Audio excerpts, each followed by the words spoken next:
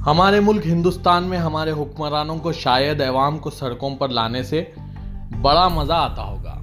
हमारे वज़ीर अजम ने कुछ साल कबल नोटबंदी कर कर सबको सड़कों पर लाइन में खड़ा कर दिया था। उन्होंने तो खुद उनकी बूढ़ी माँ को भी बैंक की कतार में खड़ा किया था। फिर हमारी रियासत तेलंगाना के वज़ीर अला जो मोदी जी से दो हाथ आगे रहना चाहते हैं, उन्होंने तो आवाम को उस वक्त सड़क पर खड़ा कर दिया था जब सारी दुनिया घरों में कैद थी। जी हाँ हमारे वज़ीर अला जनाब के चंद्रशेखर राव ने कोरोना वबा की वजह से नाफिस लॉकडाउन के दौरान अवाम को एक हज़ार रुपयों के लिए कतार में खड़ा कर दिया था। अब गुजशत महीने हुई बारिश से शहर में हुई तबाही के बाद दस हज़ार रुपये इमदाद दी जा रही है, जिसके लिए मी सेवा में अपने तफसीलात जमा करना होगा और फिर दस हज़ार रुपये अकाउंट में जमा कराए जाएँगे। जिसके ऐलान के बाद शहर में मी सेवा दफातर पर अवाम का बेपना हजूम देखा जा रहा है। एक बार फिर लोग कतारों में खड़े इंतज़ार में मसरूफ हो गए हैं। फिर भी पैसे अकाउंट में आने के आसार भी मौजूद नहीं हैं, क्योंकि मी सेवा में इंदराज के बाद, इंक्वायरी के बाद हुकूमत फैसला करेगी कि कौन मुस्तक है और कौन नहीं। मी सेवा दफातर में दस हज़ार रुपए के ऑनलाइन इंदराज के लिए भी ज़्यादा पैसों का मुतालबा किया जा रहा है। मी सेवा में ऑनलाइन इंदराज के लिए पचास रुपये फ़ीस है लेकिन कहीं अस्सी रुपये तो कहीं सौ रुपये कहीं कहीं तो पाँच सौ रुपये भी वसूल किए जा रहे हैं। इस खसूस में अवाम का कहना है कि पहले तो अवामी नुमाइंदे अवाम को दस हज़ार के नाम पर लूटा है और अब मीसेवा लूट रही है। खैर, पेश है इस खसूस में हमारे नुमाइंदे अब्दुल मुकर्रम की खसूसी report. Bureau report, Siasat dot com. ये जो मुतासरा लोग हैं वो जो तबाह हो गए उनके लिए फार्मूलत कर रहे हैं ये दस हज़ार रुपये दे रही है गरीबों को जो मुतासर हो गए जो घर बार से बेघर हो गए उनके लिए जो है। कितनी देर से आप बैठे हुए हैं? मैं यहाँ तकरीबन तीन घंटे से बैठा हुआ कंटिन्यू फॉर्म फिलअप करके दे रहा हूँ। यानी आप वॉल्ट्री आप वॉलेंट्री तौर पर मैं हूँ। अच्छा ये फॉर्म के पैसे कितने दे रहे हैं? ये डेढ़ रुपये का फॉर्म है नहीं नहीं बोले डेढ़ रुपये का टोटल ऑनलाइन करने के लिए सौ रुपये दे रहे हैं। वो जैसे है बीस सेवा वाले होता है तो हंड्रेड रुपये दे ऑनलाइन कर दे रहे हमारी गली तुम छोड़ दिए। एक पैसा भी नहीं मिला। अच्छा जब जो पैसे जब बांटने हैं अब तक आप लोगों को नहीं मिला। नहीं मिला।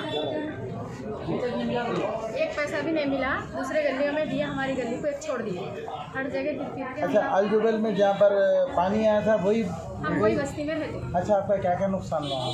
ग्राउंड फ्लोर पानी में आया तो कितना नुकसान होता आपको मालूम नहीं नहीं अंदाज़ा क्या क्या सामान आपका गया? हुआ फर्नीचर गया कारपेटा गए सोफे गए मशीना गए वॉशिंग मशीन फ्रिज सब इलेक्ट्रॉनिक्स हमारे एरिया के लीडर के पास भी गए तो लोग बोले आते आते आते पहले बोले मिलाद नबी की छुट्टी है। उसके बाद बोले दिवाली है। आज तक कोई भी नहीं आया। अच्छा आप अलजुबल कहने सेवा नहीं है वहाँ पर आप आप हम आए थे इधर से गुजर रहे थे अभी लोग ठहरे सेवा तो हर जगह है मगर हमारे को मालूम मगर इसकी फ़ीस के बारे में कुछ मालूम है? है अभी मालूम करने के लिए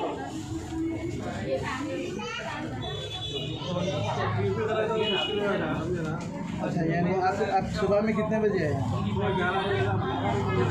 ग्यारह बजे से अभी टाइम है। तो यानी हंड्रेड रुपीज़ आपसे फ़ीस लिए।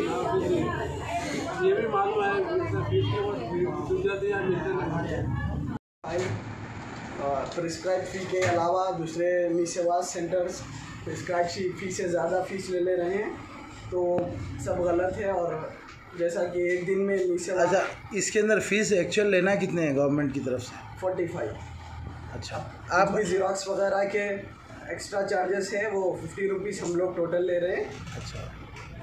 सिर्फ़ जीरोक्स वगैरह के एक्स्ट्रा फ़ीस है वो।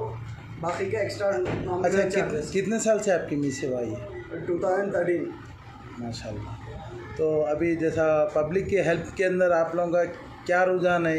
ये पब्लिक क्या बोल रही है यहाँ पर आके? किस तरह से क्या अंदाज में जिसको ला के दे रहे हैं लोग? फ़ीस के वास्ते भी। एरिया की आवाम जैसा कि जानती है ग्लोबल एंटरप्राइजेस और ग्लोबल मी सेवा के नाम से तकरीबन हम लोग पूरे ओल्ड सिटी में मशहूर है। जो भी हमारे पास कस्टमर आज हंड्रेड परसेंट सेटिस्फैक्शन के साथ रिटर्न हुआ और वो हम लोग ज़्यादा पब्लिक ठहरा भी नहीं रहे। वो लोग प्रमोशन के लिए दूसरे मी सेवा सेंटर्स वाले प्रमोशन के लिए पब्लिक ठहरा रहे। पब्लिक पब्लिक क्या सोच? रही है ये डालने के में क्या पैसे आते बोल के एक्सपेक्ट कर रही? है गवर्नमेंट का जो ज़्यादातर गरीब लोग हैं। वो लोग दस हज़ार के लिए थोड़ा सा तकलीफ़ उठा रहे हैं, लाइन में ठहर रहे हैं। हम लोग उन लोगों को तकलीफ़ में नहीं ठहरा के नंबर लेके घर पे भिजा दे रहे हैं, फिर नंबर कॉल करके फिर उन लोगों को बुला के फ़ाइल सबमिट करा रहे हैं। वो लाइन में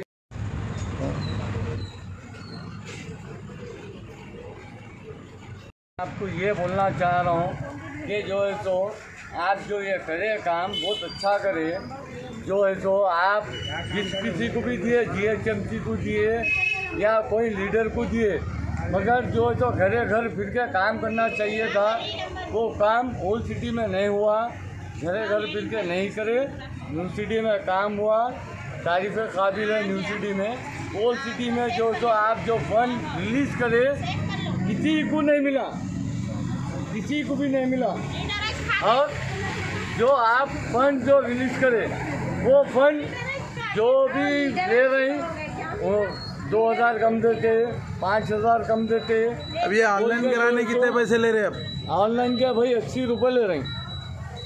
एटी रुपीज़ हो रहे हैं। इनके बैंक उसके चार्जेस है इसके और अस्सी रुपये चार्जेस है। और के टी आर साहब आप जो है तो मी सेवा में बगैर फ़ीस के जो जो आप जो जो आवाम के लिए ताउन करिए और आवाम सुबह से जो शाम तक ठहरी वो ठहर ना ठहरे आप वैसा करिए। बगैर बोले आप जो जो आप तो है। सुबह कितने बजे आप? सुबह सात छः बजे से शाम में बारह बजे तक रेडी पब्लिक यहाँ पर। और जो है सो मेरे खातन देखिए आप मेरे बहना पूरे सुबह सात बजे से और शाम में बारह बजे तक ठहर रहे हैं लोग। और और ये सामने excellent digital service customer service point पर लेडीज़ की भीड़ है।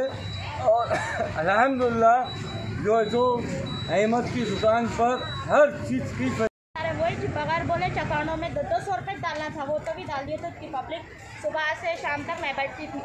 ए, माँ आपका कौन सा एरिया माँ? ये मिश्रीगंज कुमारवाड़ी में लेटर आ रहे हैं सारी चले आ रहे हैं। अच्छा वहाँ आ रहे हैं आते आते आधार कार्ड वहाँ एरिया में आपके नहीं दिए? पैसे नहीं बांटे वहाँ के एरिया में नहीं नहीं नहीं बांटे आधा बांटे आधा बांटते अभी सर्वे करना है करना है बोल के नहीं करते पैसे खत्म हो गए पैसे खत्म हो गए अभी क्या नंबर है आपका? फिफ्टी फाइव है।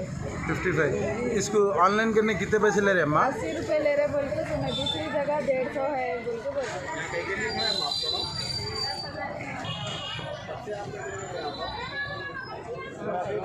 आपका नंबर क्या है माँ? मेरा नंबर डेढ़ सौ है। वन फिफ्टी आप कौन सा नंबर चल रहा है वहाँ पर? दसवां चल रहा दसवां नंबर चल रहा।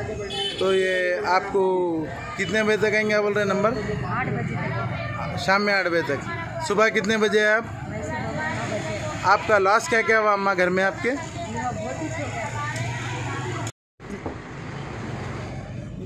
यानी डेली सौ आदमी को दे रही। तो सिर्फ़ सौ आदमी का ऑर्डर है। बाकी के बढ़ के आए तो नहीं करते। कितने क्या? क्या फ़ीस चार्ज करे वो लोग? फ़ीस नहीं बोलते, कुछ भी नहीं बोले खाली करंट का भी आधार कार्ड पूरा